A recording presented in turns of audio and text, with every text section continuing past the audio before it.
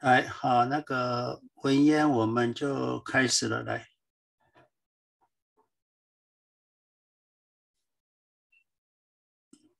文烟有听到吗？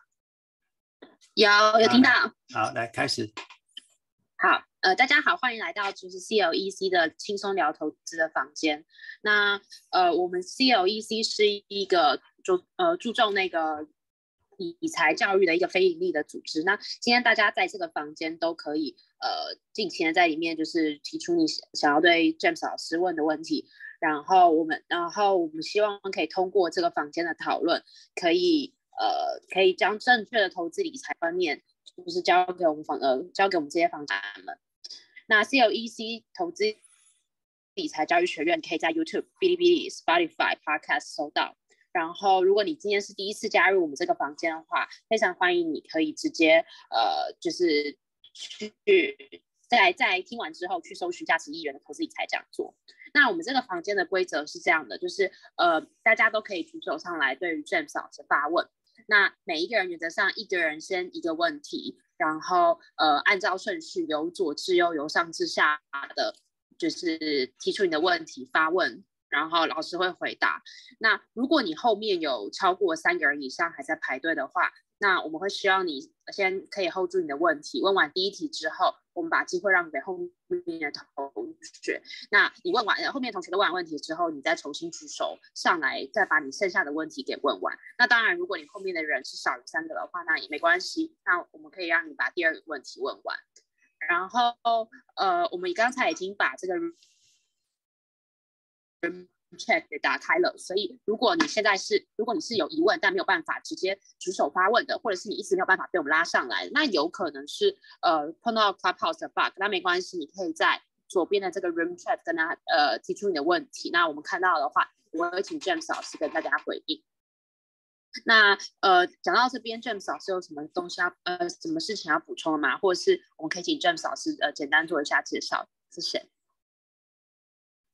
好哈，那谢谢大家都准时参加这个讨论了哈。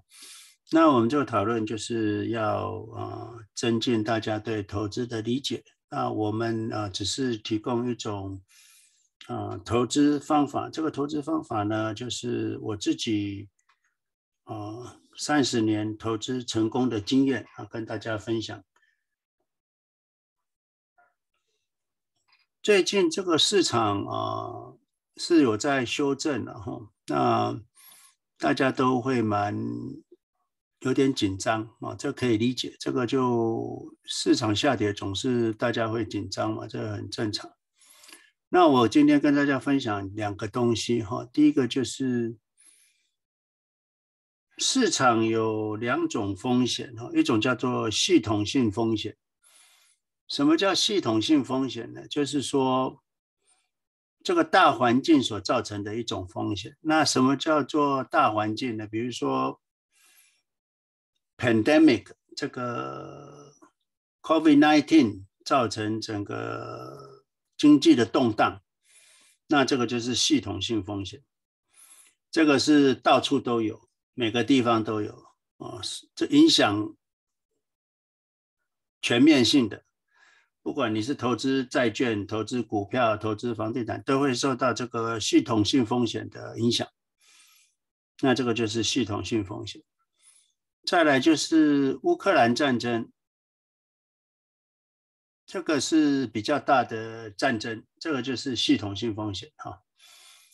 那像之前的次级房贷，二零零八年的次级房贷，那就是系统性风险。大家理解系统性风险的时候，你的资产受到影响是免不了的啊！没有一种资产不受系统性风险的影响。那跟系统性风险不一样的就是，嗯，个别的个别的风险。什么叫个别风险呢？就是一个公司经营不善。那你投资这家公司就有个别的风险，除了受到系统性风险的影响之外，你也会受到个别公司的经营不善、产业的兴衰，还有这个竞争的压力等等，都是个别风险。那个别风险只有你在投资个别资产或者是个别股票会受到影响的哈。那这个就是个别风险，所以我今天跟大家分享这个。那系统性风险是很难避免的，你一定要面对系统性风险，而且这个没有人能够避开的哈。那当系统性风险来的时候，就好像台风来的时候，你要做什么？就就按兵不动啊，在家里啊就好了，不要出去乱跑啊，这是最好的方式。那所以你就不要乱操作，也不要动。你不动，那打台风过后，呃，就雨过天晴了。所以这是跟大家分享，就是系统性风险你没得没得躲了哈。你如果说躲得掉，那应该是蛮就是一种幸运吧。那这个不是一般人或每次都做得到的。好，所以我想我先分享到这里了哈。那任何的下跌哈，我刚还是跟大家讲，任何的下跌都会回来的。所以只要你能够盖牌啊，我常常讲盖牌，买完盖牌，盖牌完就时间到了，它就会回来了哈。我还没有看到一个下跌不会涨回来的哈，这个我应该是有生之年还没看过，而且以前也从来没发生过。所以大家不用紧张啊，那个乐观以对这种事情啊，其实碰多了啊，你做多在市场越久，你就会越理解。好，那文言我交给你，那大家有问题可以尽量提出来哈，提越早提出来，我们越早讨论，那这样会大家会收获会更多了哈。好，来。好，谢谢老师。哎，那老师，我想代表大家问一下，就是因为其实大家现在也都知道说，哦，股市会下跌，股市会回来，但是大家的可能情绪上面还是会比较紧张，或是最近会感到比较恐慌。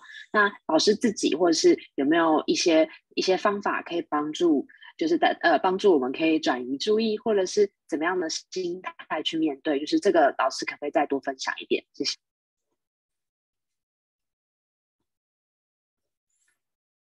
我常常就是建议大家用长远的眼光来看现在了哈。你可以从现在去看过去啊。假设从虽然这个震荡那么大，两千二零二零年震荡也很大，二零一八年震荡也很大。那假设你今天往回看啊。你往回看，这个多头市场涨得还真的非常好哈，所以啊，虽然有震荡，可是我看一下哈。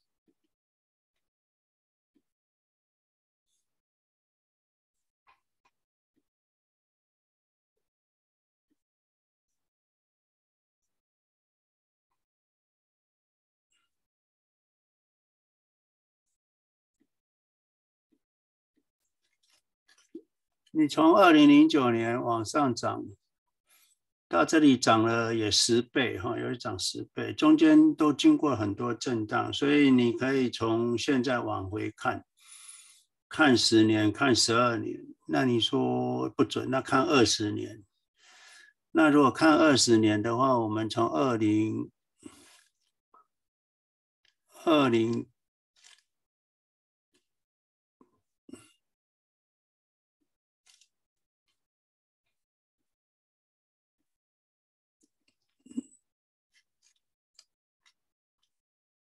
二零零二年二十年的三月十二号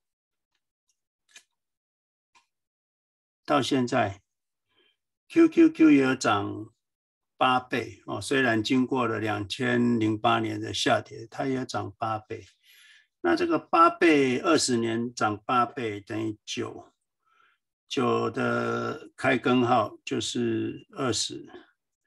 它也有十一 percent，所以啊，大家不用太担心了哈。你啊，经过了泡沫，两千零八年那种泡沫都可以有十一 percent 的年化报酬率了，所以啊，我就觉得说大家都不用太担心，你就是往回看，往过去的历史看之后，你可以发现就是未来，你现在想一想，你未来二十年后你的资产会涨十倍，哦，那这样就很好了嘛，所以你就不用管短期的震荡。如果当初零八年会会担心零零呃零八年跌的七六十 percent 的话，那那个担心不就是白担心的吗？哦，你只要不理它，它就会过去了哈。所以这个是我一般，我以前也是这样训练我自己的。所以不要看现在，你要看未来，你资产会涨十倍。那你现在就不要动就好了嘛，这个是我的经验啊，跟大家分享。你多看一下长期的线图，你就会感觉到比较安心了。这是我跟大家的建议。好，谢谢。好，谢谢老师。那下面一样就是大家如果有疑问的都可以提出来，因为其实我们本身在开这个 Clubhouse 的这个轻松聊投资的这个房间，我们的最初最初的目的。是希望帮助让更多人了解，就是呃，他不用用很麻烦的方法，每天去看线图，或每天花很多时间做很多研究才能获得呃才能获利。所以我们也希望说，哎，如果你目前在呃投资或理财上面碰到的一些疑问，那也可以拿出来跟大家一起讨论。那无论什么问题，我们都非常欢迎。然后，如果你呃想到有有问题要发问的话，你可以按右下角的这个举手。然后我们就会把你拉到上来，呃，我们就会把你拉上来，然后让你发问这个样子。那如果目前还没有其他人在呃发问的期间，我会再问老师几个问题，就是帮助大家也算是一个抛砖引玉，帮助大家去想说，哎，那你自己的问题是什么？有什么需要拿出来讨论？哦，那 James 老师，我想请问一下，因为也是因为最近的那个。呃，市场就是在调整的关系，那可能很多人又开始会说，哎，要不要投资其他的投资工具？可能呃，除了股票以外，可能有基金啊、债券啊，或等等等等的。那对此老师是怎么看的？然后老师这这边有什么样的提醒然后教给大家？谢谢。如果你去看那个二零零三年到现在的 QQQ，那我们找个债券来比较好了哈，TLT 好了，不管有升息，它这里边 T 这段时间总有升息跟降息嘛。那你如果跟 TLT 比起来，TLT 这二十，这从二零零二年到现在，它涨了四十九 percent，那可是那个 QQQ 涨了十一倍。所以啊，不要去投资其他的了哈。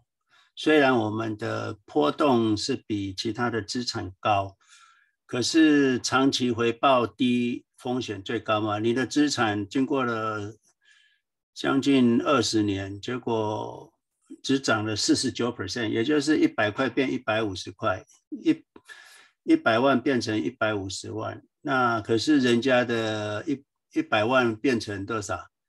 变成这个一千两百万哦，那你才一百五十万，人家一千两百万，所以这就是二十年之后啊，有钱跟没钱的差别。所以啊，这个就是巴菲特一直在市场，巴菲特六七十年在市场，他为什么是巴菲特？就是说他其实主要都是投资股票市场，他连房地产都不投资。所以我常常讲说。你你如果去投资房地产，你的资金就会被分散，那你的长期的绩效就不好了。这个当然都是以投资绩效来看的啦。那当然有些人认为有房子他会比较心安，那个是心理因素的，那我们就没办法讨论了哈。就是我们讨论的就是以回报率到最后资产，大家谁？有多少？你是有一亿，还是一千万，还是一百万？啊，这种差别，然后，所以我是不会去思考，也从来也不会去，连一分钟都不会去思考投资任何其他的资产。就好像巴菲特想说，他从来没有连一分钟都不用考虑会筹资债券，哈，他一分钟都不会考虑。同样的道理，哦，这个跟大家分享，好，谢谢。好，谢谢老师。嗯，那如果一样，大家如果有其他的疑问，可以可以提出来发问。然后，呃，如果还没有的话，我这边会再持续问一些问题，帮助大家也去想一下，就是大家常会碰到的一些状况。那老师就是延续上周我们之前上周有朋友提到，就是他们有问说，呃，要不要把投资理财的这个方法，就是呃分享给自己的好呃亲人、亲朋好友，或者是呃就是等等的一些周边的人。那对此你是怎么看的？然后分享可以分享到什么程度？或者是呃，假如说我今天我的收入是比其他人还要来得高，那呃，我是要帮助他吗？还是呃，我我我应该怎么样去跟，就是是去跟兄弟姐妹手足这样的方式去交，去互相交呃帮助？不管你是帮助朋友，或帮助亲朋好友，或帮助你的子女，首先。你自己要投资成功啦，再来就是你对投资很理解啊，你愿意帮助别人，那你愿意帮就愿意受，所以你要忍受别人对你的问题跟咨询啊，这个是你要先事先考虑的。再来就是说，当你跟人家谈投资的时候，我现在常常谈的就是说，不管你要做什么投资，第一件事情就问。我就问，就是市场跌七十 percent 的时候，你可以吗？市场跌掉，你的资产跌掉七十 percent 的时候，你还好吗？如果你可以还好的话，第二个问题说，你可以投资二十年吗？这样子的状况，你可以投资二十年吗？如果可以的话，那我们再来谈怎么投资哈。这个是我跟大家分享。所以第一个，你要帮助我，当然我在这边就是在帮助别。大家嘛，当然，如果有受到帮助，有得到好处，当然叫做帮助嘛。那如果你没有觉得得到好处，当然就帮不到你。那你愿意把这个资讯或好的讯息传授给别人，你不要太强迫人家一定要做了哈。你就把这资讯给他，那你跟他讲，看看我们的影片，那市场会跌七十 percent 哦。那你一定要不能卖哦，那你就买指数，那投资二十年啊，你就会得到我们相对年化报酬率十 percent 的回报啊，这个是我们的方式哦，就是这样。所以啊，你第一个就是我想就是这样子了，你的心态啊，你会遭受别人的压力，再来就是你要事先跟他讲好，市场会跌七十 percent，你至少会收水七十 percent，那你只要长期投资，你就会回报有十。呃，年化报酬率十以上的回报啊，这样就好了哦。这个可能要先讲清楚。好了，好，谢谢。好，谢谢老师的分享。呃，下一位是举手发问的朋友，这个是立明。呃，立明，如果你呃你在的话，可以直接开麦发问，谢谢。啊，这位立明峰。啊，非常感谢 James 老师的这个演说和就是平时对我们的帮助。啊，我也特别。深受他的启发，我炒这股票我也炒了很多年了，大概有几十年嘛。以前都是做个股做的比较多，做期权也做的比较多。但是那个自从听了这个詹姆斯老师的理念之后，我有深受的感触。我现在就说一些数据哈，我先把一些几个个股和几个那个 就是 ETF 的情况。给大家汇报一下，就是到今天，到今天，对不起，苹果是下跌了百分之十二点八六，Microsoft 下跌了百分之十六，Google 算比较好，今年只下跌了百分之十点三六，Amazon 是下跌十二点七，Tesla 是二十四点七五，Nvidia 是二十四点八六。Facebook 比较差，下跌了百分之四十四。所以说，看来就是个股在今年都比较难，即使很好的股票，也下跌了百分之十点三。但这个指数呢，SP 500到今天是下跌了十一点八八，它算是下跌的比较少。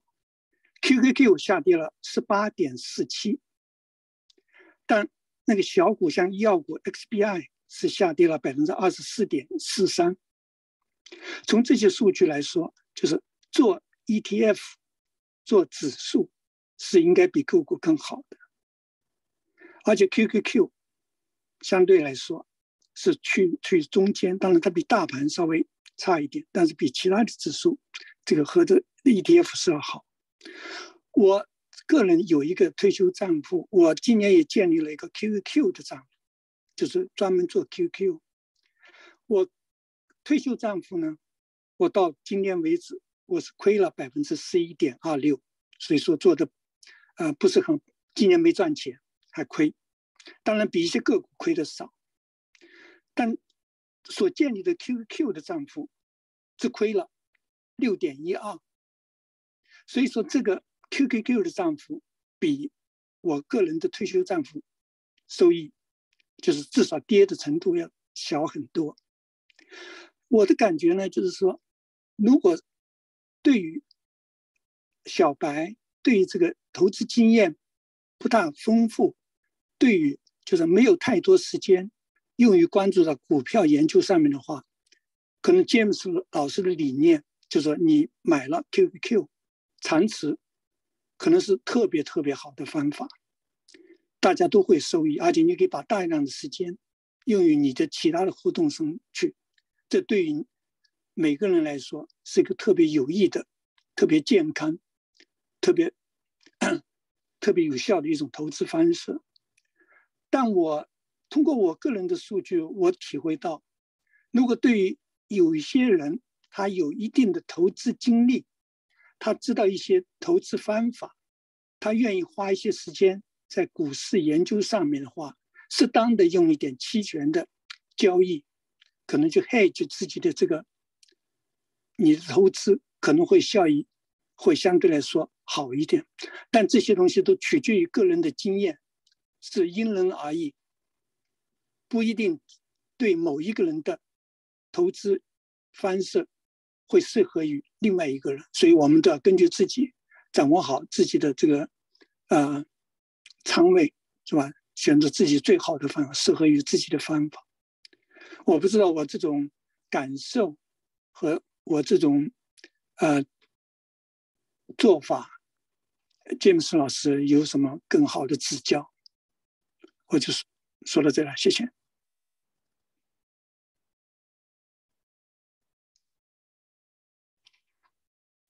好，谢谢利敏哈。那我想利敏啊，我之前都有听过呃利敏老师的分析了。那他就是做一些期权，能够那因为个股的话就是比较不 predictable 嘛，因为它会受到这个财报啦很多问题。那如果用 QQQ 去操作，我想就比较。可预测性就算比较高了哈，所以我可以想象出来说，如果用 QQQ 做有经验的人哈，有经验的人做 QQQ 的话，会比个股的操作会好。这个我想可以可以理解，也应该是这样子，这样子可以展现你自己的操作的能力嘛。因为很多人有操作的能力，可是因为个股的变动，让他让这个能力有点失真。或者是没办法展现。那你如果是啊有操作能力，那又能够用 QQQ 来做操作，我相信绩效好像利明这样子的绩效是是很好的了。而且你如果觉得你操作了起来比指数来的好，那我想这是值得做的哈，没有说不值得做，可以做可以做。那不过就是说，因为这个是下跌市场嘛，所以啊。我不知道啊，等到过了一段时间，市场是往 uptrend 的时候，那可能我想立明再过来跟我们分享一下 uptrend 的时候，长期往上走的时候是长期买的不动好，还是操作的会好？这个我们可能需要啊，立明你的提供一些资讯。未来如果坦率的说哈，坦率的说，呃，没有这个方法，肯定的没有你的方法好。因为我现在只是说我今年的总计数据，因为我今年有一个专门做 QQQ 的账户，但是根据去年，就是我的这个账户里面，包括退休里面账户，我有个股，我也有 QQQ，我做了一些，我发现，就说只要股市好，只要它直直接的往上涨，是没有长持好的，就是尽管我不断的这个折腾。但是因为我数据不系统，所以我也没有办法说服力。另外的话，虽然看上去现在三个月好像我专门做 QQQ，通过什么期权交易这种就是去调准，似乎比长值要好。但这个只是跟詹姆斯老师说的没错，这是因为这三个月它下跌的比较凶。但是就是这三个月的这个图像，这是我的 QQ 的图像，里面也能仍然能看到，如果是往上涨，我是我的那个方法是没有办法去避着长池的。但是现在目前因为时间特别短，只有三个月，所以看上去好像比它好很多，但是长期来说的话，不一定。好，这是我的感受。谢谢，谢谢丽云老师哈，这个就是符合一个投资理论了，就是说，当你在啊，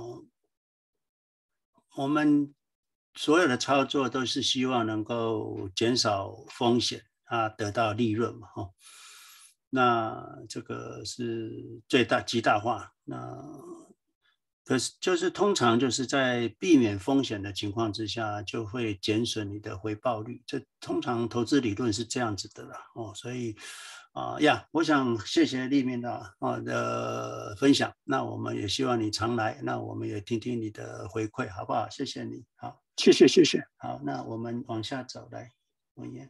好，谢谢立明。那我们。也把你拉回观众席了，呃，听众席了。下一位是 Ju，Ju，如果你在的话，可以直接开麦发问。Ju 张，嘿，呃，老师好，呃，大家好，嗯，我现在主要有一个特别具体的问题，关于怎么看今后的这个石油，现在是到顶了，还是因为我觉得好像，嗯，这个通胀还没有结束，呃。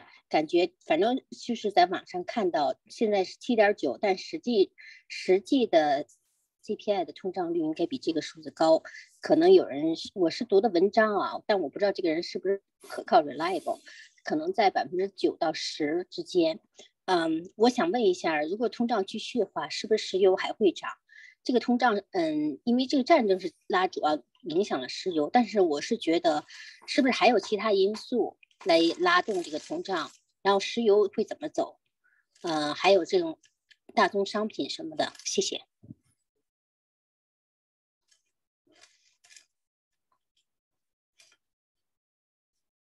呃，我的问题问完了。好，谢谢哈，谢谢俊。我想这个大家要回到以前这个零八年哈，这个因为我在市场稍微久一点，我这个故事我都可以知道了哈。零八零七年的时候也是通膨非常严重，那那个时候我们就把 QQQ 跟 XLV XLB 是什么？XLB 就是 material 了哈，所以我们也不去拿油股了，我们就拿拿原物料跟跟 QQQ 比好了哈。XLB 哈，在在那个零七年之前哈。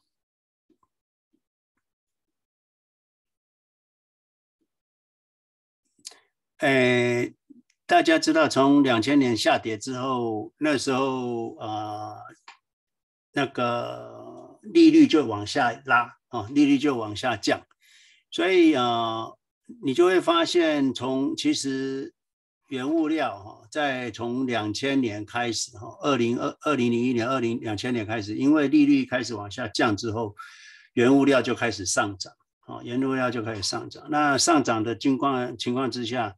啊，股市两千零二年触底，两千零三年触底之后，两千零二年后半段触底之后，那原物料继续涨，股市继续涨哈，所以我就跟大家，你们就看这个图，我想你们就看不到这个图了。不过我想到 YouTube 来的人就可以看到这个图，所以你会发现啊，原物料跟股市是同同时涨的哈。一起一起涨的，所以通膨来的时候，股市会涨的哈，会一起涨的。所以你会发现，二零零二年一直涨到零八年哈，股市跟原物料都同时上涨，而且同步，都同步。等到零八年泡沫一结束之后，原物料跟股市一起爆掉，就一起往下走。之后开始原物料跟股市又开始往上涨，可是啊，股市就涨得比原物料多很多了哈，高很多。所以这里我跟大家讲，就是说原物料首先没有跑赢过大盘，第二个原物料跟股市是同涨同跌哦，所以。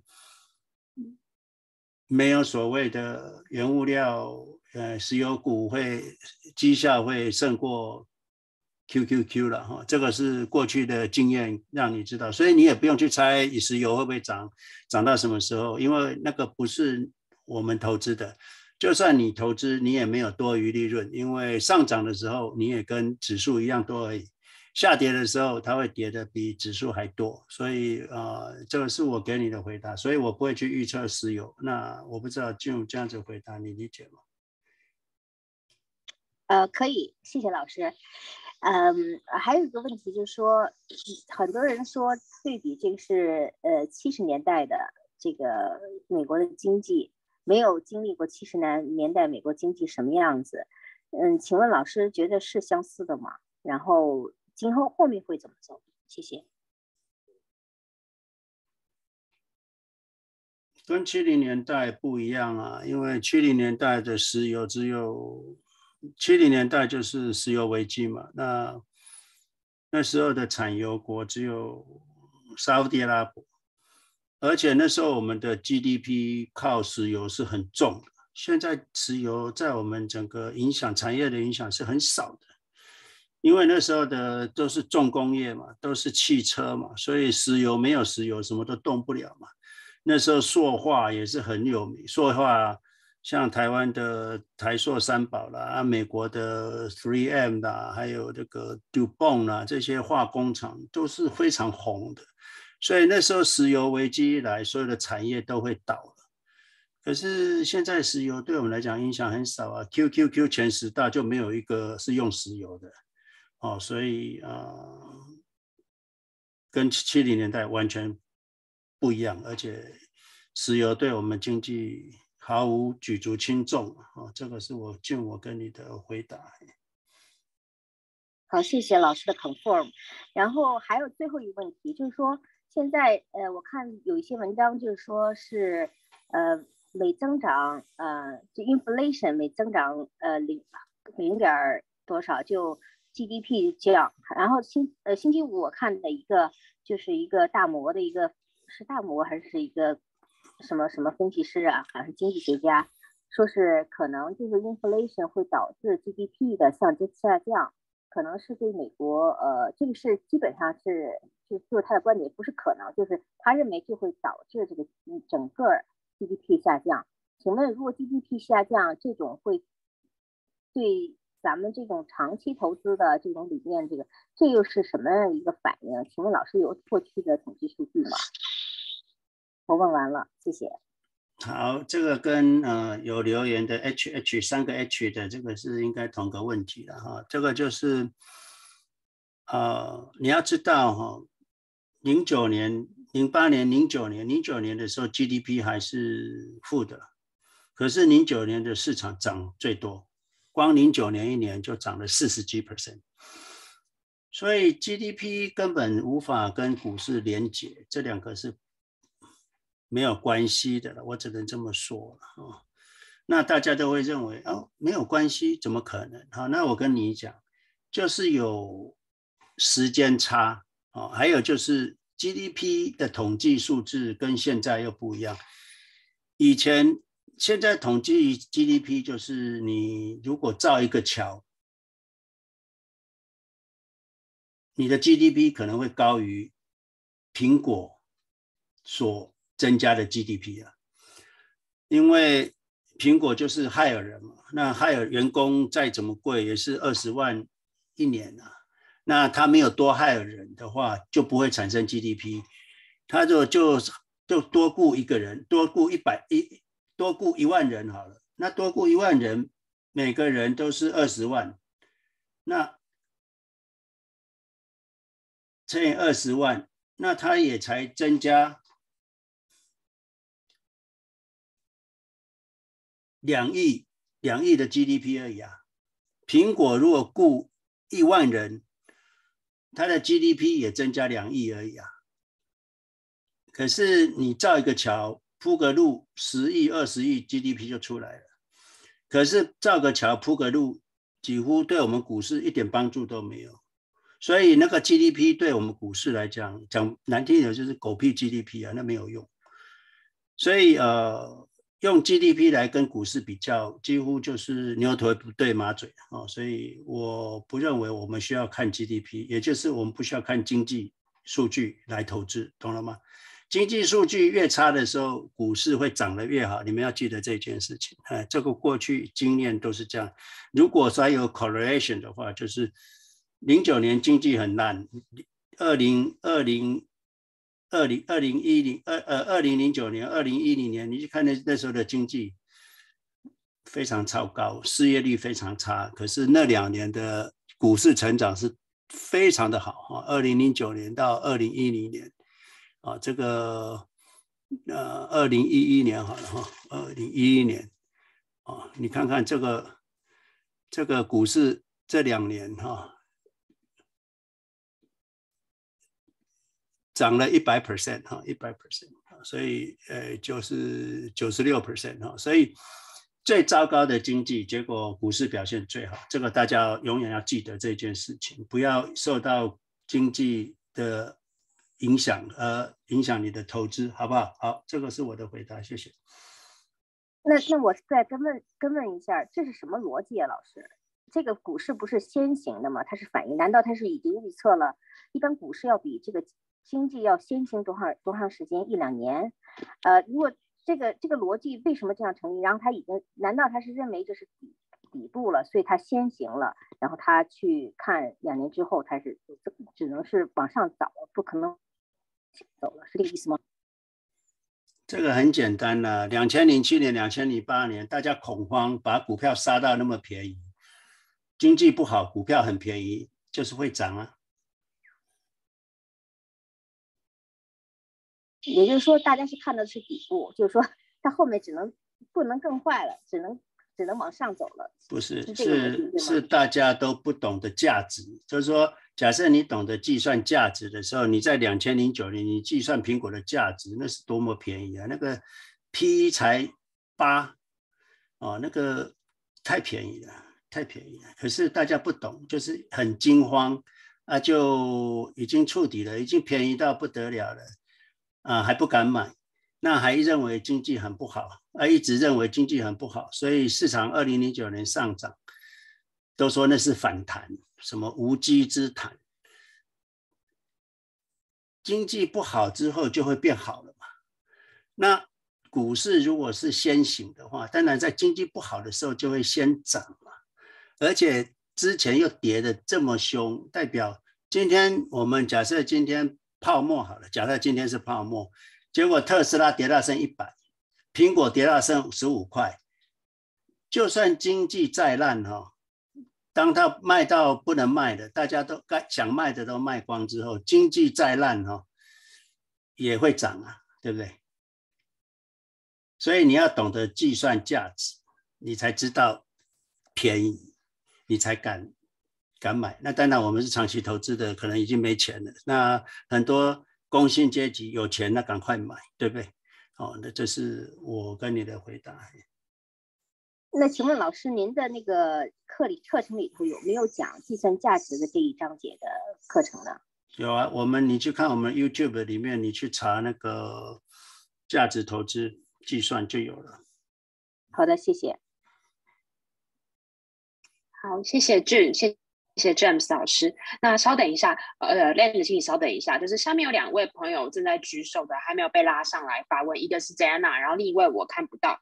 那如果你们还有就是想有问题想要举手发问，但是一直没有被拉上来，应该是碰到 Clubhouse 的 bug。那你有两个方式，一个是强制退出这个 app，再重新加入这个房间。第二个就是你可以按左下角的这个 Room Chat。就是左下角这个 Room Chat 点进去，就是这个对话框，点进去把你的问题给列下来。那呃，我们看到你的问题，我们会择时间就是请 James 老师帮你回答。谢谢。然后下一位是 Land，Land，如果你在的话，可以直接开麦发问句，我就把你拉下观众听众席了，谢谢。嗯，老师好，嗯，我想要呃请教老师，就是说去年的这个时候哦，差不多也是二月底那个三月的时候，就是巴菲特他每一年给这个股东的这个股东信里面哦。就讲到说，这个永远不要做空美国。那他的这个理论的根据是因为美国还是这个呃全世界里面呃最有这个理想抱负的这个国家哈。那它也推动整个世界往前走。那呃到处都有成功的故事啊。好，然后。呃，这些新的产品改善客户的体验哦，然后很多人成功这样。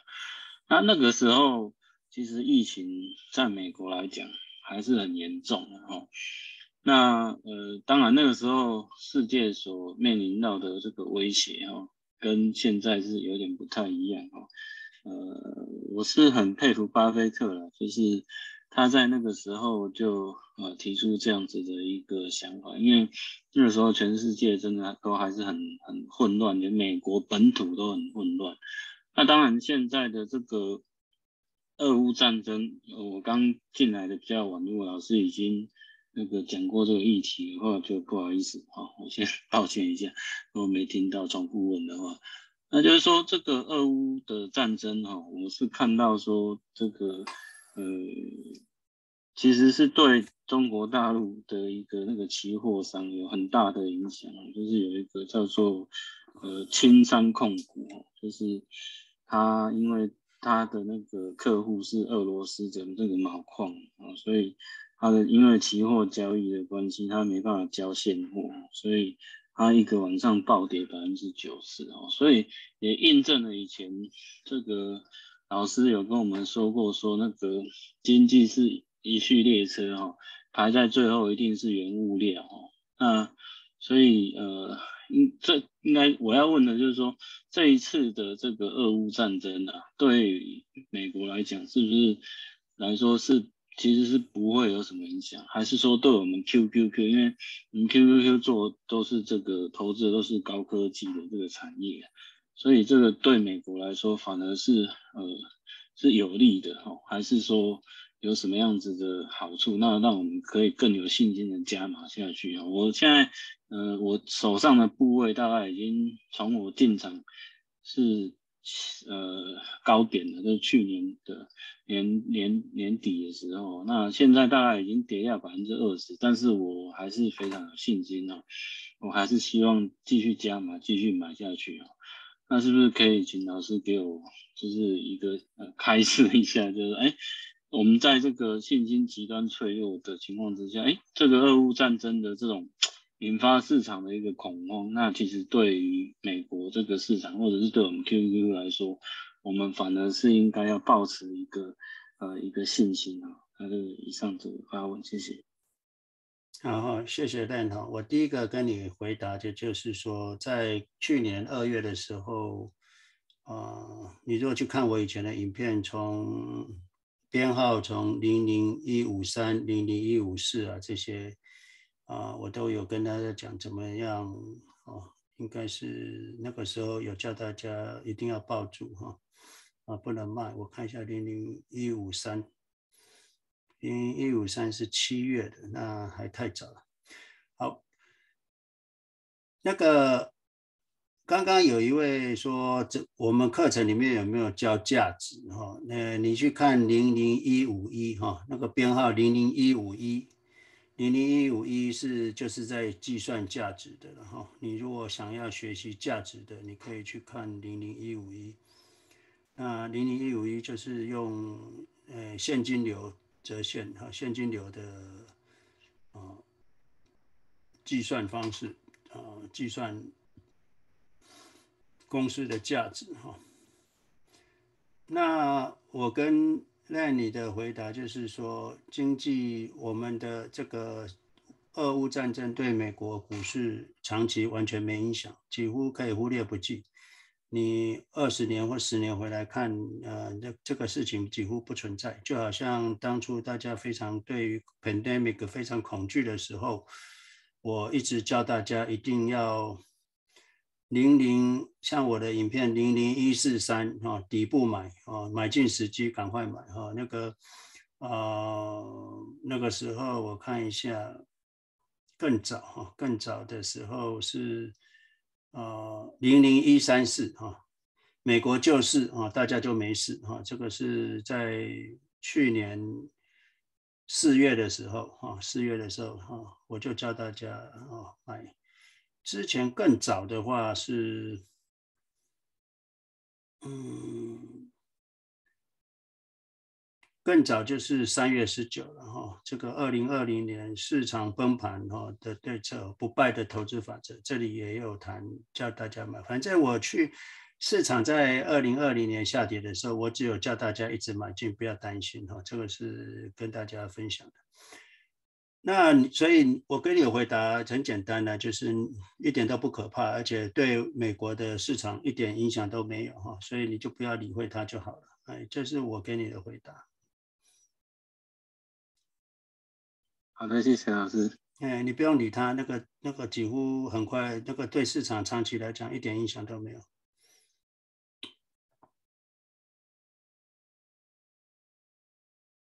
OK，那那你发问完了对吧？那如果谢谢。嗯，谢谢你。那我们把你拉回听众席。那下一位是青玉，青玉，如果你在的话，可以直接开麦发问，谢谢。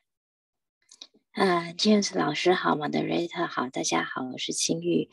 今天想要请教老师的问题是跟股市不太有相关哦，是比较跟经济相关的问题。就是我很好奇这个嗯，通膨哦，像以前这个通膨是经济比较热的时候造成了通膨，因为订单多啊、产能啊、扩张啊这些，然后大家市场的钱很多，那。所以我们通过加息去抑制通膨，那呃最近的通膨还是一样的原因吗？因因为感觉上好像是嗯疫情比较造成人工的短缺啦，然后原物料上涨啊，那我们通过这个加息以后呢，会是造成。呃，怎么样的结果？譬如说，因为现在我周遭的这些有一些啦中小企业，他们一直在苦撑嘛，那他们有时候会跟啊银行借钱啊、贷款啊这些，那一旦加息，他们的资金链可能就会断裂了，然后他们就可能就倒闭了这样子。那所以这样子的结果，到底是会造成这种呃产业结构的改变啊？加速一些呃强者越强的这种经济状态，然后并且产生一些创新的产业，还是说嗯，它它它就是一个嗯，只是一个良性的调控，还是说会让经济会比较啊变得比较差的一个情况？这这是呃我这是我的问题啊，就请教 James 老师，谢谢。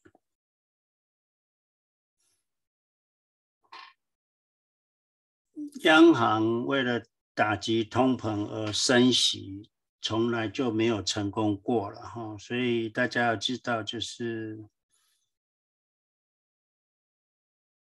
通膨是一种现象。那一个东西会变贵，你利息再高，大家抢着买，还是会一直贵。所以你会发现，利息再升，房价还会继续涨。因为什么？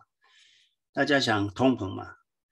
现在不买，以后会更贵，所以利息越涨，东西就会涨更快。所以这个是啊，央行升息其实无法阻断通膨，央行升息无法阻断泡沫越来越大，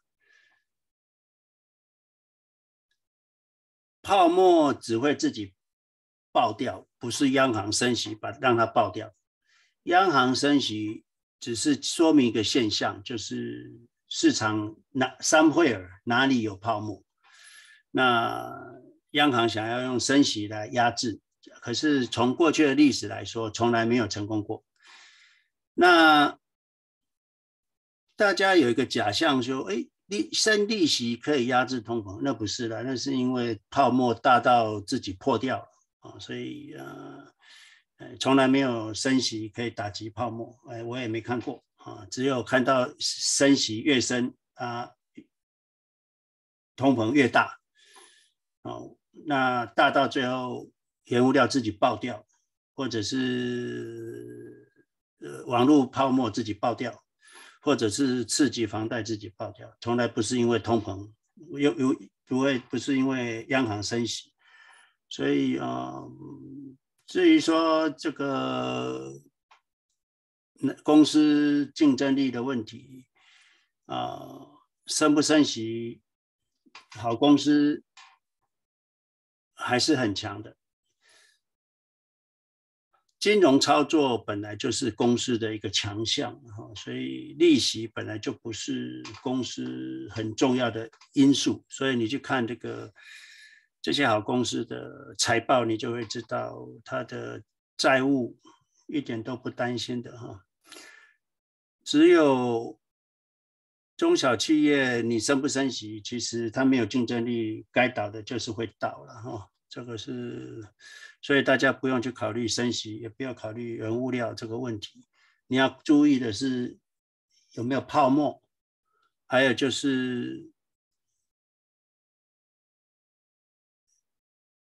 公司我们投资的有没有价值，那这个比较重要。所以我们投资者就 focus 我们投资的公司有没有价值。那你去看看这个 Q，我们投资 QQ 的话，你要把 QQ 前十只股票。的价值稍微算一算，那你就会知道现在是贵还是便宜。那只要是便宜或者是比较不贵，那就跌幅就有限；只要是太贵、超贵，那泡沫自然会破掉，跟升息也没有关系。哦，这个金玉，我跟你的回答这样，所以还是要回到价值啊，还有泡沫有多大。呃，谢谢 James 老师哦，我非常喜欢听你的这个 Clubhouse，常常有非常就是异于一般市面上的这些见解，然后非常的有参考价值。谢谢你。好，谢谢青玉哈。那个我上面 po 的一个就是一个 YouTube，那是好像是去年二。二月二十号的，然后那个时候市场开始下跌，我就跟他们讲说，市场一点都不贵哦，不要担心。那时候我就叫大家不要担心，赶快买。那个就是从价值的角度，我知道市场跌一定很快就会弹回来的，所以那是 pandemic 的时候，所以啊，哎，那是二零二零年嘛，对对，呀，OK，那那个给大家参考哈，那。在对，二零二零年二月二十号就是市场开始下跌那个时候，哦，那这个是跟大家分享，好，有问题可以再提出来，谢谢。好，谢谢青玉。那刚才有人在那个我们的那个呃 room chat 里面有问一个问题，就是刚呃老师，那老师对于通通缩的看法是什么？觉得未来会不会发生？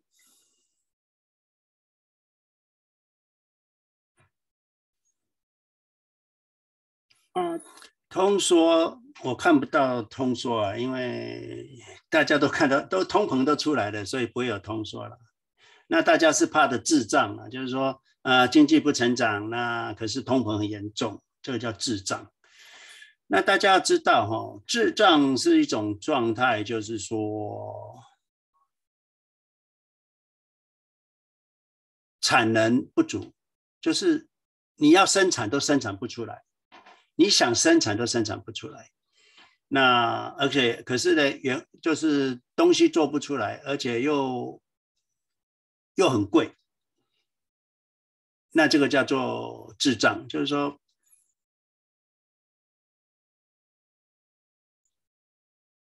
讲最极端的就是，假设二次世界大战那个时候，那个时候就有就是智障，就是说。东西要做也做不出来啊，面包也很贵啊，油很贵啊，什么都贵啊。可是经济又不成长啊，那就智障。那因为整个生产线跟很多东西都被挪去打仗，所以那时候就会智障。那现在没有这种事嘛，你要多少总是会有人会生产给你嘛，哦，所以啊，那你只要有需要，就有人会生产，那也会生产东西就会便宜，所以我看不到啊，我们的整个经济体里面有滞胀的条件或者是因素，因为现在产能都过剩，那产能都过剩的话，不会造成滞胀，只有产能不足才会造成滞胀，就是说。产能不足，东西生产不出来，鞋子变很贵。可是你要加大鞋子的生产，还真的没办法，那就是会滞胀。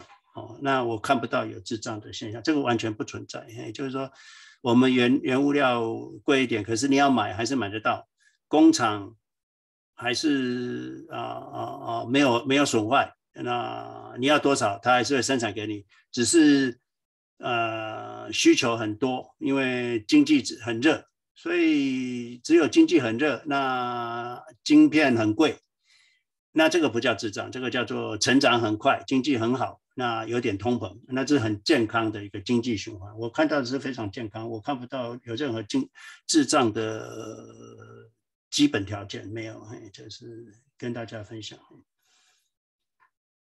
好，谢谢老师。那 Sophia，您稍等一下，刚才还有另一位朋友发问，是这个 Pam 蔡，他提提到说，去年的高点 all in，呃，在 QQQ，对于三年打算三年后打算退休的人打击很大。那对此老师有怎么样的建议？谢谢。这个打击当初，如果你知道你这个资金每每年就是拿三 percent 出来用嘛，那你不要理它就好了嘛。除非你自己准备的资金不够，那你不投资打击很大。投资啊，短期有打击，长期还是好的嘛。所以假设你有你有三千万台币，那一百万美金，那你一年用一百万台币，呃呃九万美金。呃，三三三万美金哦，那这样子，那市场跌变八十万了，你今年才用三万美金，跟你还有八十万还好吧？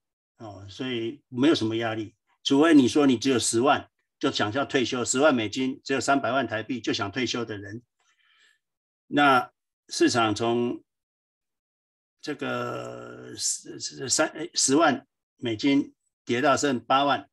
那你一年要用三万，那你只剩五万，那当然压力很大。这跟市场没关系啊。你本来十万，就算没跌，用掉三万，你也剩七万，压力也很大。所以啊，嗯，这个压力不是市场给你的，是你的资金够不够的问题。我一直重复这件事情。哦，好，这是我的回答。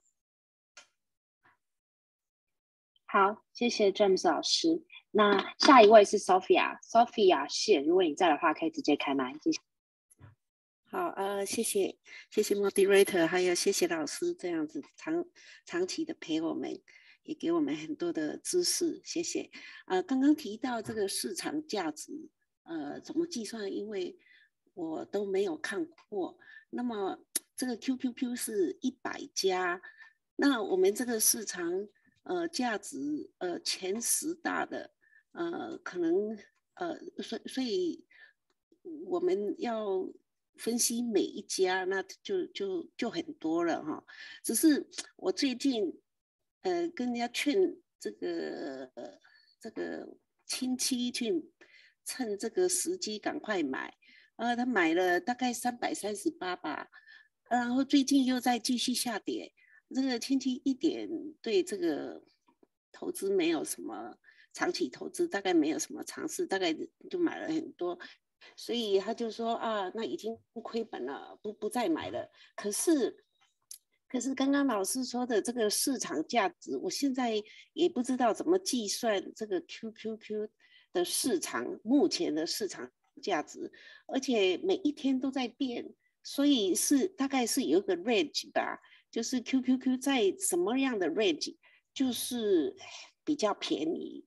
所以老师有没有呃计算过，让我们知道一下，说大概在这个 range 的话，都是算很便宜的，呃，所以可以，我也可以安慰这些跟跟他们建议的这些人，他们买的买的，他们是买的比较早一点，啊，市场下跌早一点的这些，让他们不要这样，呃心情不好啊，这是 这是我想要听听老师的建议。我我想叫大家每个人都去算前面十大公司的市场价值是不太容易了。那真正会去算、懂得算，而且会算对的人可能也不多了。不过我跟大家讲，就是说你市场价值就是你很简单嘛，你用 AAP 和苹果嘛。那我们苹果来算一下哈，苹果我就说很简单，苹果就是呃。我们相信市场有效率的，所以你找一两只来算一下就知道了哈。苹果现在它一股赚六块，那它成长率是二十 percent，所以六块乘上明年的话，它会赚多少？会赚七块。后年会赚多少？会赚八块，八块六。再再来一年就会赚十块，所以。三年后的苹果会赚十块，那现在卖你一百五的话，P E 才十五啊，那就很便宜啊，对不对？P E 十五啊，不贵，不贵。当然，你如果在二零零九年底部的时候，你算出来只有八了，那现在比现在十五，所以差不多是比过去贵一点。可是对正常的 P E 二十来说不不贵，所以啊啊。市场是不贵的哈，这个是我跟大家讲，那你懂也好，不懂也没关系啦，反正就是跟你讲，就市场不贵。那阿莫总啊，我们看阿莫总，我们看阿莫总，阿莫总的话是赚六十四块，现在赚六十四块，它成长率是九十八。那我们看成长率九十八，可能不会每年这样吧？我们用五十，三年，第一年。就会九十六，再乘上第二年一百四十四，第三年算三年就好，两百一十六。所以两百一十六，三年后会赚两百一十六。现在两百九十一，两千九百亿除以两百一十六，P 十三呢，跟苹果差不多，苹果十五，它是十三。所以呃，这样算起来，Amazon 比较便宜，比苹果便宜一点点。那当然不是叫你去。买苹果也不是叫你买，所以你只要稍微算一下这个前十大，找个两只来算一算，三只来算一算，你就知道很便宜啊，所以不用担心的，了解吗，Sophia？好，那那 P E 那 P E 普通我们都是用二十，那现在 P E 十三就是比比那个 P E 二十少，所以是便宜。是啊是啊是啊，哦哦哦，所以这个 P E，譬如刚刚你算到二百一十六。你怎么算乘十三是除以？诶，我看看，两千九百一，两千九百一十块除以两百一十六块啊。哦，OK，好好是是用这样算的，是是用现在的价值除以未来未来三年后三年三赚的价钱。对啊，然后算出来的 P，哦，这样我我会了，这样我就是呃随便拿几只然后来比。P E 二十用这个为主，对对，那比比它高贵的话，就是不要买；比它少的话，大概也就知道了。那现在我们只是都买 Q Q Q 嘛，我们不会买个股嘛。那你只是把那十只里面找几只来算一下，都很便宜嘛。那代表大部分都很便宜嘛。大部分我想三年后的 P E 都是十五嘛，所以假设现在都不涨，三年后总要涨嘛。对不对？你意思这样，你这样是吧？我知道，我知道，嘿，所以我可以跟这些人安慰。是，好，谢谢，谢谢。好，谢谢你哈，来。好，谢谢 Sophia，谢谢 James 老师。那我们中间有看到还蛮多呃新来的朋友刚加入了。那如果你是第一次来听我们这个 Clubhouse 的房间的话，呃，我非常欢迎你可以点选点点左上角老师的这个蓝色的头像去按关注。那之后你在每个礼拜六，呃，华人时间晚上十点到十一点半，或或者是美西时间的早上六点到七点半的这个时间，呃，你都会听到我们在在 Clubhouse 这边跟大家讨论、跟分享，还有交流，就是关于投资理财的一些观念知识。那如果你是已经待了，呃，每次都有在固定来参加我们这个 Clubhouse 的房间的话，如果你有任何问题，你可以举手发问。那你举手的话，我们会把你拉到上面来，就是呃回答你的问题。又或者是你没有办法的成功举手上来，或者是你自己本身是不不便上来的，那没关系，我们呃你也可以在呃左下角点这个 room chat 里面呃问老师问题，那我们会从中找去找中间的时间把你拉上来，然后把你的问题念出来让老师回答。那呃我有看到下面有两位举手的人，一个是 Diana，然后一个是 Lena。那你们两个我没有办法把你们拉上来，所以如果你们的疑问就是还没有获得解答，然后也很想要知道的话，你们可以在左上角，呃左下角的这个，呃左下角的这个 room chat，就是把你的问题列列在里面。那我们看到的话，就会针对你的问题去做回答了。那我们看到现在在。呃，就是 Room Chat 里面有一个 Franklin，他在询问说，呃，为什么 Amazon 会有百分之九十的成长？他看不出来，就是这个数据的来源是什么？所以如果老师听到的话，也也请呃麻烦回应，谢谢。这个你们如果回到之后，我把这个礼拜二的时候，我这影片会 po 在 YouTube，你们去看，我这个有秀出来。你们去雅虎的 Finance 的 Amazon 的的那个 Statistic 啊，Statistic，那。Quarterly earning growth 九十八点三呢，哎 percent，所以 Franklin，你可以去那边看看，好不好？哎，你去 Yahoo Finance 啊，那再来就是啊，打进 Amazon 啊，打进 Statistic 啊，往下拉啊，你就会就会看到了，好不好？嗯。好，谢谢老师的回答。那呃，我现在继续补充，就是呃，刚。才如果老师在呃回答问题的时候提到的一些影片的编号的话，我已经都放在 Room Chat 里面。所以呃，如果刚才有同学没有记到，然后很想要知道老师之前分享的影片是什么，你在 YouTube 上面打 C L E C 空格，然后把这个数字输进去，老师已经把所有从以前到现在的影片都已经重新上编好。就是方便大家可以重新去阅读。那如果你今天第一次来听，还不知道可以从哪一支开始听，推荐你听最新的呃价值一元的投资理财讲座的二零二二年的一月八号版本。那里面就是会有老师的一些分享。那你也可以在 YouTube、哔哩哔哩、呃呃 Spotify、Podcast，就是听到听到我们每一那个每一周的，就是老师上传的影片。那呃就是 Clubhouse 这个这个呃这个讨论的话。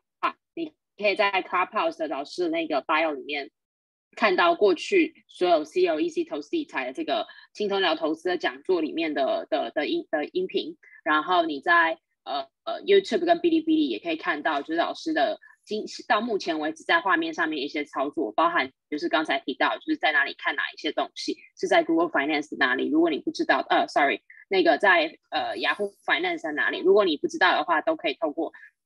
放这些呃 YouTube 跟哔哩哔哩的影片看到。那如果有朋友有其他的问题，非常呃也非常欢迎你可以透过举手发问，或在 Room Chat Room Chat 里面继续的呃询问问题。那这个 Diana 刚才有在呃群里面提到，就是他想要问 James 老师说，为什么 Financial Sector 这么下降这么多？如果继续下降，是不是快要金融危机了？谢谢老师。这个问题很好哈。那大家要知道，这个银行股哈，当然之前呢，大家都说啊，银行那个要升息的银行股会大涨的，结果很多人就冲去买银行股，结果没想到黑天鹅出来了，结果啊，俄罗斯就整个资金跟债券跟股票都冻结，不能不能交易了。那这个银行受创是最大的，因为他们总是有买很多。俄罗斯的债券、俄罗斯的股票，拥有俄罗斯公司的股权，不只是这样子。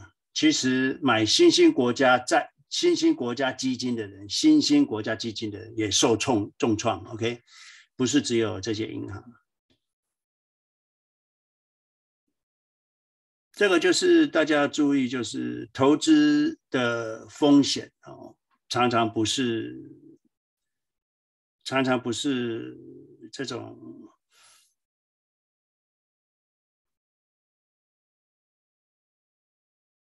你你你想象出来的地方，所以大家不要，我一直跟大家讲，不要去买新兴国家，就是这样子，你不知道地雷什么时候会在哪里爆出来，这是 number one。那你会发现，哎，俄罗斯的这个问题造成银行的问题，当然是啊，银行很多叫减记嘛，像台湾的银行很多就是在铺险在俄罗斯的资金，它马上就是要要提拨哦，提拨呃损失，那马上下一季的财报就会出来，那很多银行的财报第一季应该会很糟糕，那当然现在先跌是正常，那至于这个。俄罗斯这个资产被冻结了，很多投资都化为泡影了，会产生金融危机吗？啊，不会哈，不会的原因就是什么叫金融危机？金融危机是因为啊，银行资产断裂，就是说他没有钱，银行没有钱借贷。或银行没有钱还，就是之前次贷房次级房贷的时候，银行的资产都不值钱了。那这样子的话，造成银行的资本市足率就有问题，所以他就得去找资金。那找不到资金，银行就会倒闭。这个就是金融风暴，二零零八年刺激房贷。那银行没有资金了，资金枯竭了，所以他就要去央行就赶快注资，那就二零零九年三月就救起来了。那现在不会啊，不会，因为当然俄罗斯也是第十一大经济体，也是蛮大的，可是银行不会因为这个东西而变成。呃，资产市足率不足，因为呃没有连锁反应，因为就是一个俄罗斯这个资产不大不大，而且分散在全世界，而且是没有连锁反应哦，所以这个不会。为什么没有连锁反应呢？因为它没有结构债，就是不像以前房资次级房贷有结构债，一环扣一环。大家都拿到炸弹，而且那个杠杆率很高，杠杆很高，就是说资金全世界投资在美国房地产的杠杆非常高，所以全世界人都买到独资产。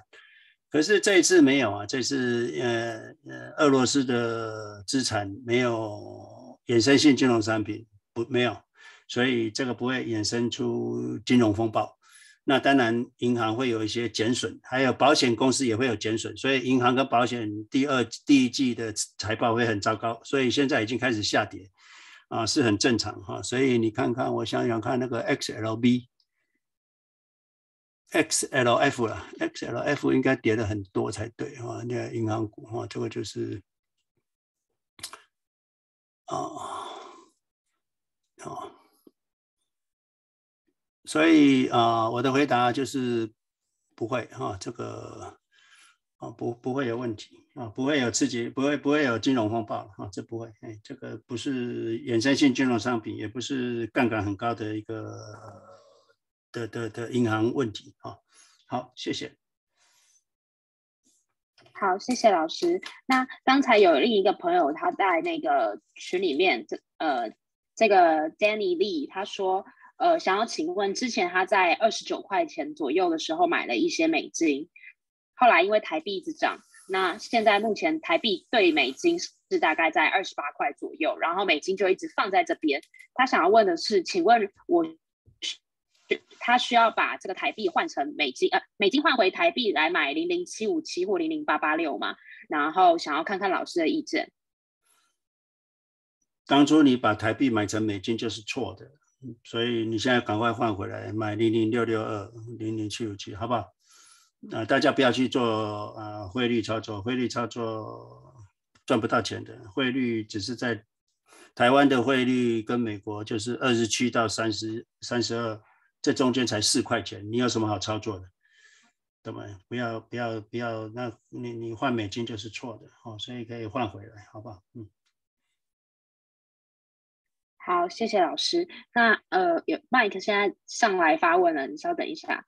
呃，Mike，如果你拉拉上来的话，可以直接开麦。对了，老师早。对我我看到没有人问，我想问一个跟这个跟这个投资比较没有关系的问题，就是那个昨天马斯克他他公布了他自己的那个想法，就是那个比特币的那个想，他认为是那四家公司的呃做法，看起来他是可能会把比特币卖掉，他有大概两个 billion 的比特币嘛，大家都知道。那我看到最近这个只要因为拥有比特币的公司都受到很大的影响，包括像 Square 啊，有这种概念股的都很糟糕。那这边有两个问题的，第一个问题是老师。都过去是谈到那个比特币，认为是它是抗通膨的一个东西，不知道现在现在的想法是不是还是一样，还是有变化？然后第二个问题是说，QQQ 里面哈有多少公司是跟这个比特币的观念有关系的？我这个是我一直都没有没有没有想过，因为过去我们有投资 GBTC 嘛，后来当天卖卖掉，现在发现这个这个非常非常正确，因为它它溢价实在太高了。那我现在不晓得说老师怎么看这个比特币哈，尤其 Elon Musk 现在这次。这次在这个这两天发的这个推文，看起来好像他他有点蛮否定这个东西，他是认为那个四家公司，Samsung，还有 Samsung 这三呃，我想大家我就稍微念一下，Samsung，呃，哎呦，我就现在老一下记不得，那反正那四家公司的的缩写了，就是就这就中中本聪的原名，我我不晓得呃老师怎么看这个问题，好，谢谢。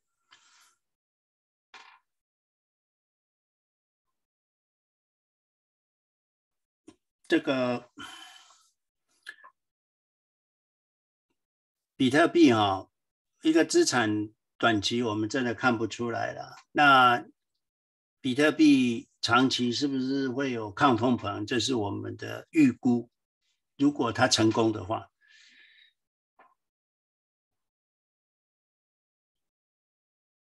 可是这段时间我就看不到比特币。跟通膨还有跟整个全球金融的储值好像没有正相关，然后，所以我也是觉得比特币好像现在没有达到它应该达到的功能。那我也不能说现在我就否定它，可是我现在是都都没有持有比特币哈，有啦，只有在 Cash App 里面只有。几万块，那只是当初呃买一点，因为你在 Cash App 也买不多，他一一一天也给你转七千块钱的，转也转不完。Anyway，所以呃回答你的问题是说，我不看好也没看坏了，可是我是不会投资。你叫我建议你要不要投资，我是不建议。现在如果叫我建议，我是不会建议投资的哈。啊，因为就算它还不错的话，它长期回报率应该也胜不了 QQQ 了。那既然胜不了，那我们就不用投资了。至于说 QQQ 里面有多少是比特币的，我看是没有哦，很少，光前十大就没有啊。前十大就占 QQQ 五十 percent 的，所以前十大如果没有，那就不用谈了，就几乎我们的 QQ 跟比特币应该都没有关系。啊，这是麦克我跟你的回答，不知道这样子。呃，对不对？你觉得？谢谢谢谢，对我我我我也只是因为看到这个这个 YouTube 新闻嘛。哦，对，这是三星头绪吧，跟那个 Nakam Nakamichi 还有还有个 Motora，对对，他他把这前面几个字母斗起来刚好是中本聪的名字，所以我一直怀疑说他是不是已经开始否定这个这个这个玩意，因为因为 Elon Musk 这个人。他那个那个推文的意思就是，好像，我终于知道你的秘密了。我觉得你们你们没什么了不起了，就就因为这四家公司的这个这个合作，不晓得这个是不是这是不是另外一种鬼故事啊？我跟伊隆的感觉是一样的吧。所以这样讲的话，呃，老师也会认为那个伊隆马斯克会在礼拜一会把比特币全部卖光了。他他他还有他他手手上好像还有两个 billion 的，就二十亿的那个比特币。嗯，我想应该会。谢谢老师，谢谢谢谢。好，谢谢麦。下一位是，嗯，谢谢。下一位是 T T，如果你在的话，可以开麦发问。T 神，谢谢。啊，谢谢啊，念啊，谢谢 James 老师。那我想问 James 老师，就是有一个现象哈，那很多股票，比方说。像 PayPal 啊、Square 啊或者 Zoom 啊，还有昨天有一个 stock 呃叫 DocuSign，那这些公司呢，在 pandemic 以后呢，就说其实发展的挺好的，客户也越来越多，呃，就是说 revenue 也越来越多，但是你看他们的股价呢，就全部都基本回到这个 pandemic 以前，就是说它这整个的过程就是，虽然它的 revenue 啊或者是呃 business 啊越来越好，但是他们的股价就是完全回到这个啊 pandemic 以前哈。那就就对这种现象的话，James 老师你是怎么看的？你能不能分享一下？因为很多股票的话，James 老师过去也研究过的哈，我知道。那呃，我的问题就是这样，谢谢。好，当一个公司它会暴涨的时候，通常跟基本面没有关系，跟未来是有关系的。所以你就没办法用基本面去衡量它要怎么涨就怎么涨。所以不管是 Room 啦、SQ 啦、PayPal 都是这样。当大家一觉醒来发现这个公司到底有没有价值的时候，那你就回去刚刚我们那个价值公式去算一下好了。那你就会发现，哎，南柯一梦醒来发现，哎，这个是泡沫。所以你看这个 SQ 现在一百块，那它赚零点三三，那当然你用 cash flow 去算，maybe 价钱还便宜。可是如果照 growth rate 去算的话，它还是贵。所以这个你说 SQ 好，它资料比较不全，那我们用 PayPal 来算好了。那当初大家可能认为 FinTech 是一个未来趋势，而且成长会非常好。那经过了一两两年，我们就来看看它成长是不是真的很好。所以我们就来算一算，结果发现 PayPal 的 Q Quarter Earning Growth 是负的，负四十八，负五十。结果大家就发现，一觉醒来发现，呃，原来买的是一个泡沫，所以市场就会跌了。那现在三点五二，PayPal 赚三点五二。那我们看，不要看 earning growth，我们看 quarter revenue growth 十三 percent。我们看 revenue 好了，就算说它是成长股，那看 revenue 它才涨十三趴。那它现在三点五，那三点五乘上一点一三一年，乘上一点一三两年，乘上一点一三三年。五块，三年后会赚五块。那赚五块，我们就给他这个刚刚十五 percent，像 Apple 那种十五 percent 的话，那它应该值七十五块。那现在 P 对吧？呃，九十六块。所以他用九十六块的话，代表差不多一百块。所以现在的 PE 是二十，就是说三年后的 PE 二十，还是贵。如果跟苹果来比的话，还是贵。所以大家终终于。PayPal 从快三百跌到这里，啊，可以说合理了。可是还是苹果跟苹果这种大牛股来比，它还是贵了一点点。所以你会知道为什么它跌回这里的原因了，就是南柯一梦啊就跌回来。所以大家记得以后这种这种一时的爆红的。股票，当他大家回到理智的时候，就会发现，哎呀，其实是国防的国王的新衣啦。所以啊，这个就是看当初你怎么像我们当初认为它好，是用 CF 就是 cash flow 去算。可是大家的 growth 还会成长很快，像 SQ 的成长很快，所以那个那个 cash flow 的价值。可以算得出来，可是当它 slow down 的时候，你就会连 revenue 都 slow down 之后，你就会发现哦，那我们所期望的价值、成长价值就不存在。那当它不存在的时候，那它这个泡沫就出来了。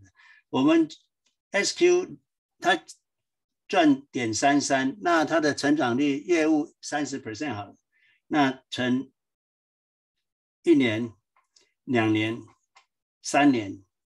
零点七二，零点七二，我用二十 P E 来算，它价值只有十四块哦，它现在一百块，其实还蛮贵的。所以 depends on 你看这个公司，如果这个公司是百分之百，以前我们在看 SQ 的时候，它的 growth，company 的 growth 是一百 percent，revenue 是一百 percent 在 growth 的时候，七十八 percent growth 的时候，那看起来就值钱。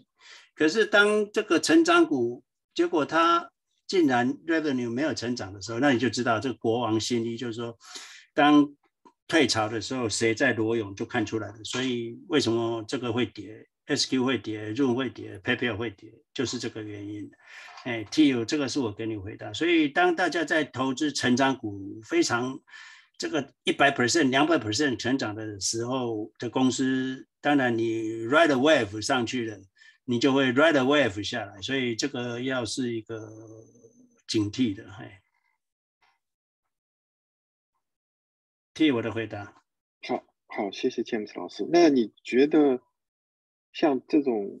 就特别一些股票，比方说像 DocuSign，它还还有说要自己公司要花一百个 million 价值去啊买一百个 million 价值的股票把它买回来。好，那像这种股票的话，你先报给我。你觉得呃，就是说也不说抄底吧，它还还有投资价值吗？像这种股票，听上去就是说他们的鼻子像，就说 Zoom 啊，或者说是 DocuSign 啊，它的用户哈都是越来越多。从基本就是从基本面上讲，二是也是越来越好啊。那这种股票再加上它啊公司回购股票，那你觉得这种还有必要去看一下去投资他们吗？还是就是 Q Q Q 拉倒？我倒不觉得大这个大对大 Q 赛是值得投资的，因为呀，我不应该去分析个股的。不过大 Q 赛我是认为。不是好投资，因为它的 population 不大，嗯，就是银行呢都有在用而已，一般很少用。银行跟都有，你们自己有碰过几次大 Q 赛？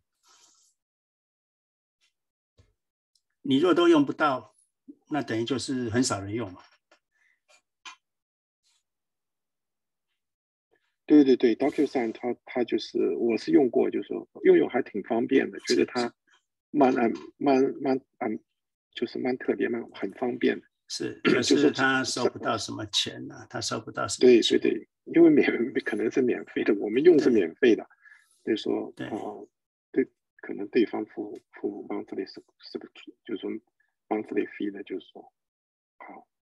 那好，谢谢 James 老师。对，DocuSign 我稍微以前有想过，它省的就是人工费用嘛，啊，真正用的就是比较。需要 sign document 的 lawyer 啦，还有银行啦，还有房地产买卖啦，就是这些。你一你你一辈子用不到几次了，那我当然不知道每个人不一样，所以这个应该，嗯呀，不值得投资。这是我个人啦，我对个股不应该发表太多意见，不过这是我的是想法。好，谢谢检查。好，谢谢 T，谢谢 James 老师。呃，刚才在群里面有一个 KC 有发问说，呃，巴菲特在二零二一年股东信里面提到，他每次都会把百分之八十的 net worth 放在股票，剩余百分之二十会在 cash and 呃 equivalents。这个跟老师提到的 all in QQQ 有不同的做法。想要请问老师，跟着巴菲特的做法，可以让我在 QQQ 下跌时买的更多，比起老师在市价 all in QQQ。是不是来的比较安全？谢谢。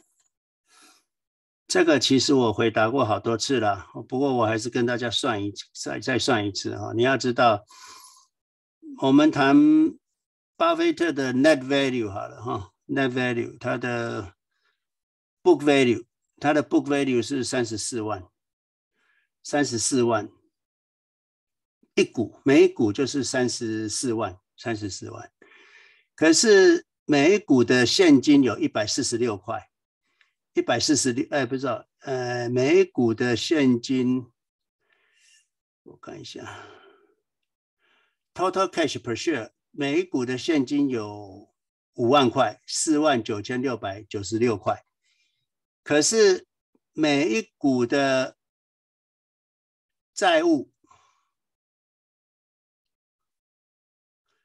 等一下啊。美股的债务是，我看一下，我算一下就知道了哈。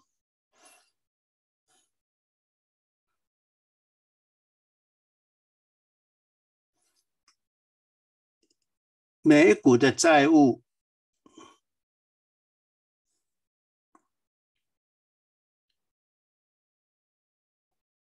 差不多四万块，等于就是说，巴菲特一个 share 一个股票有三十四万的价值，就是净值。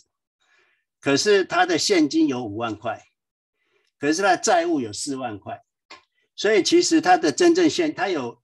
他的现金里面有百分之八十是借来的，等于就好像我们做 pledge 借钱来的，所以他有手上有有有比较多一百四十六个 billion，其实一百四十六个一百四十六个 billion 里面只有二十 percent 是他自己的钱，等于三十个 B 股是自己的钱，那三十等于五，就是说只有五万块，只有一万块是自己的钱，每股只有一万块是自己的钱，除以。三百三三十四万，其实它只有二点九 percent 的 cash 而已啊，不是你们想象的二十 percent。这样这样子懂了吗？所以呃，这个是我跟那个 KC 的回答。巴菲特有三呃三 percent 的 cash 的，他不是二十 percent 的 cash，你不要搞错了，因为他借了借了另外这个呃十十十七 percent 的 cash，嗯，他另外的 cash 是借来的。你你也可以借啊，你可以借借借二十 percent 的 cash，那你说你留了很多 cash，呃，你也可以这样子做。他不是，他是借来的钱。嗯这个是我的回答。好，谢谢老师，然后也谢谢 K C 的提问。那呃，到目前为止，就本来我们约定的时间是呃，我们的。Clubhouse 房间是晚上十点到十一点半。那现在没有任何其他的朋友发问的话，那我们就是呃，我会再重新介绍一下。就是如果你今天是第一次听我们这个 Clubhouse 的房间，非常欢迎你，就是关注左上角蓝色的这个老师 James 的头像，按 Follow 之后，日后你在就是每一个礼拜六的晚上十点，华人时间晚上十点，美西时间早上六点，你都会收到来自 Clubhouse 这个。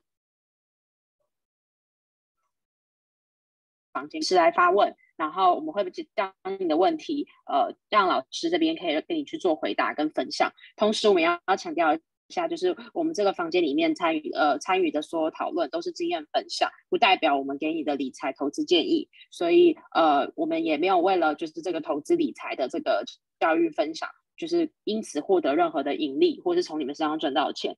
所以我们也希望这这些分享带给你们更更多的是帮助。然后也非常非常欢迎大家或第一次听到的人都可以进 YouTube、哔哩哔哩、Podcast、Spotify 去找 CLEC 呃价值一元的投资理财讲座，看完了之后再慢慢把新的影片往由新到旧的慢慢看回去，然后你就可以理解为什么 James 老师会是这样子的分享的。那呃，再有一个最后一个朋友刚才一直搭不上来的一个朋友提问，他说呃他想要问说。说，呃，他现他他现在是加拿大人，在美国加州工作，在多伦多有一个房子出租，想要 cash out 一些资金来买 QQQ，想要请问老师，是把钱转来美国，还在留在，还是把钱留在加拿大买类似 ETF 的呃的的买类似的 QQQ 的 ETF，还是说从加拿大买美国的 QQQ 会不会收益差很多？这是第一个问题。第二个问题说，他如果重新贷款。换成一个 variable rate 会低大概约一个百分点，会罚款，所以未来两年利率不会涨超过一个百分点。他觉得认罚也合适，他觉得他他想要问是老师觉得两年内会涨一个百分点吗？这是他的疑问。谢谢。我想借钱的原则，第一个就是能够借越多越好，所以再来就是能够借越长越好，再来就是利息越低越好。再来就是每个月越还越少越好，所以你自己先看看，第一个钱越多越好，哪一个钱会借的比较多？第二个就是能够借越长越好，哪一个可以借越久？再来才是利息越低越好，再来是能够不还最好，或者是只还利息最好。这个是给你原则了，所以我也没有办法慢慢跟你讲。那加拿大的话，你可以。啊，买，你可以买 ZQQ 吧，ZQQ，啊，你就用加币买 ZQQ 就可以了。呃，这是 Hedge 的，那 QQQC 是 QQC，呃，这个没有 hedge 的。QQC，你可以买 QQC，加拿大的买 QQC 啊，你就可以了，不用换成美金了。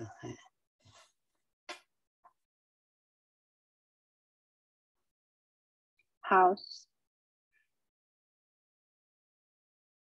看一下，好的，谢谢老师的分享。那呃，最。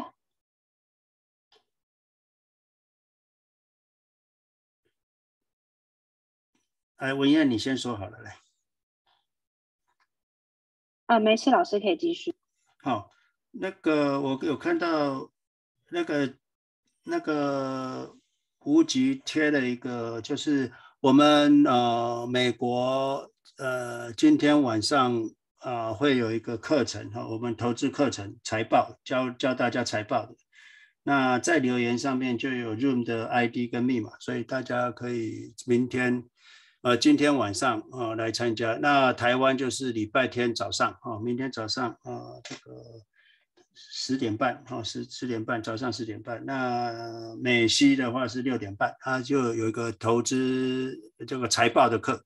如果你对财报有兴趣的啊，可以来上这个课，Room 的课，好不好？好，谢谢。好，谢谢老师。那呃，也提醒大家，如果你呃，如果你是第一次参加，明天明天呃十点半，呃台湾时间的华人时间的十点半，然后呃美国时时间的晚上六点半的呃的这个课程的话，那非常建议你，你先下载这个 Zoom 的这个软件之后，再再去把这个课程的网址输进去，你就可以在这个时间内找到找到我们。那呃，如果你记不起来这个课程的这个网址没有关系，就是。呃，你可以点选 James 老师的这个头像进去，会把其实老师都有把今年所有的课程的讯息都已经放在他的 bio 里面了，所以明天呢会是这个 CLEC 的财报，是呃亚台湾亚洲时间的早上十点半，就是明天早上十点半，十二小时之后，然后美国的时间美西时间的晚上的六点半，那你可以在这边看到相关的资讯，或者是你也可以进到 YouTube 里面，老师在 CLEC 的那个。呃，就是 YouTube 里面都会把这个课程的链接放上去，可以请大家在里面也也观看一下。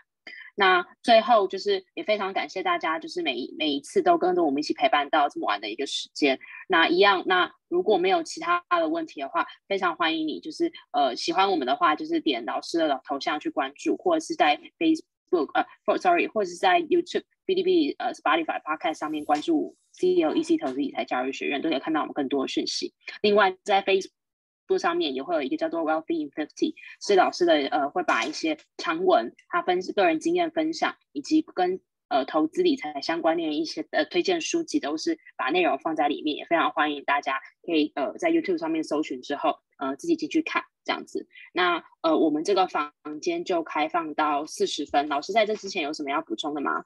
哦，就是讲一个，就是那个下礼拜的话，因为美国的时那个呃下令时间开始，所以。啊，美国现在不用那么早起来了，Clubhouse 别七点可以起床，七点开始。那台湾还是十点哦，所以美国就是晚一个小时了啊。呃，下令时间开始，Clubhouse 晚一个小时。